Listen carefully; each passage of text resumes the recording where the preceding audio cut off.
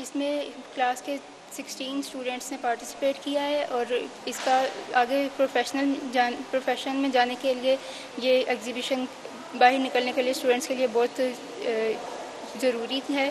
इससे बाहर के लोगों से मिलेंगे, उनसे इंटरेक्शन होगा तो उसके बाद वो प्रोफेशन में जा सकेंगे।